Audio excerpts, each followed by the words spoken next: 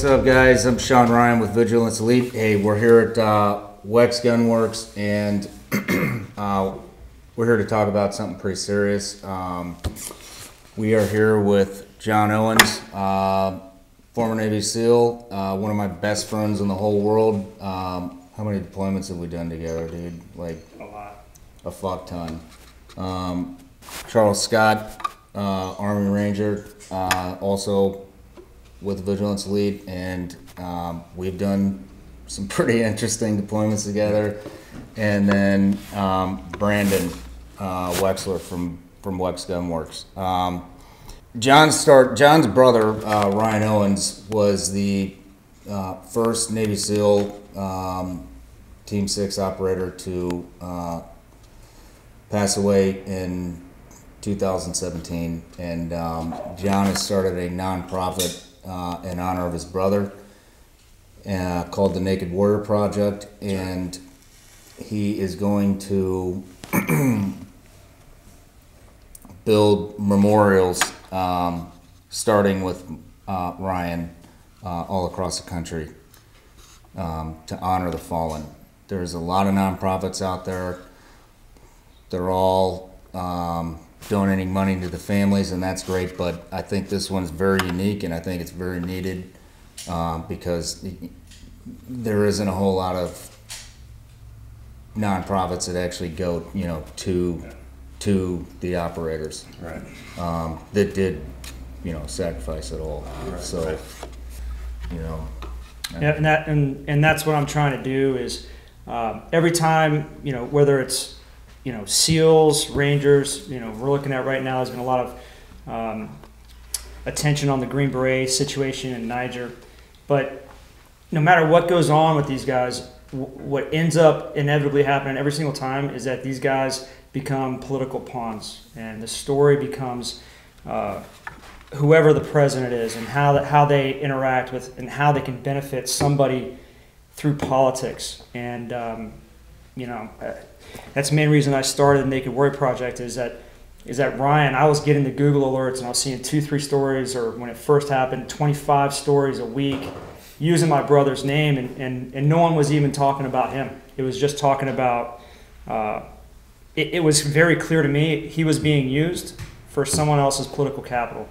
No one talked about his story. No one talked about, no one showed his pictures and, and except, you know, how it would benefit the candidate or the journalist that was writing the story. Um, I, I probably had a hundred different journalists come to me, want to write a story. I said, well, let me see the story because the stories are always written already. It's not about Ryan. They don't want to make it about the individual. They want to make it about what their story is and what their political point of view is, or however they can benefit themselves. So I started the Naked Warrior Project because I want to put out information. For me, I want to put out who my brother was, and it's really hard. It's very, very hard to share. That's not what we do. Um, I don't really share about myself, but I have no problem sharing about my brother Ryan because his story I think is very important for this country, and it's important for his kids. His kids are going to Google their dad, and they're going to see Trump's failed mission, right? And that is that's bullshit. It's wrong. So um, started the company to memorialize my brother through this event, going to Ryan Owens Memorial Run this weekend, uh, November 4th in Deerfield Beach. Um, you can look that up, nakedwarriorproject.org.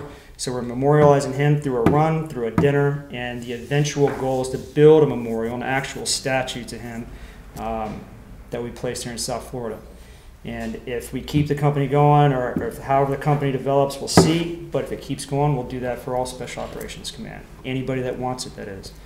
Um, so if somebody wants our services or is looking for uh, to do something like that, I mean, that is that's what we're all about. We're a nonprofit, 501c3 pending, uh, but be no problem. It's just a matter of time. And um, every single dime goes to memorializing the soldier or sailor and that's or marine, whatever it is. So that's what we're about. And thanks uh, to Shawn and Brandon. Uh, these guys are, are top sponsors for us, and they've been supporting us the whole time. And uh, couldn't do it without you. Thank you very much. no problem. Um, you know, all four of us sitting right here um, either had or are in a job that uh, is very unforgiving, and um, I'm pretty confident when I can say, you know, I think we've all uh, experienced some losses, and I mean, uh, what you're doing is like, it's fucking solid, man. It's Thank you. awesome. So, um, I mean, how can we donate? Yeah. Uh, go to the nakedwarriorproject.org and click donate. And uh, it'll, yep, it'll be there for you. And it'd be very appreciated by myself and, and the other veterans here, and I think just about any other veteran out there um, will appreciate it. Helping the men themselves, not not just uh, it, it's it's helping the the man, right? Because the man or the woman who's the veteran, uh, they're not they're not here, and uh, they don't get they don't get taken care of. It, from what I've seen, and I've I've lost how many friends we lost, guys? I mean, I've lost almost every single friend I've got that's been in the military, uh, that was in the SEAL teams. Really, unless they moved on, to something else in the military, uh, they're dead, and that's and that's sad, but that is very true. And uh, we have a lot of experience in this, and it's never hit quite home like it did with me with my brother. But uh, it, every single one's hard, and um, that's what we're here for, you know. So, Well, cheers to Ryan. Ryan, Ryan, Long live the brotherhood. on the brother. have some friends.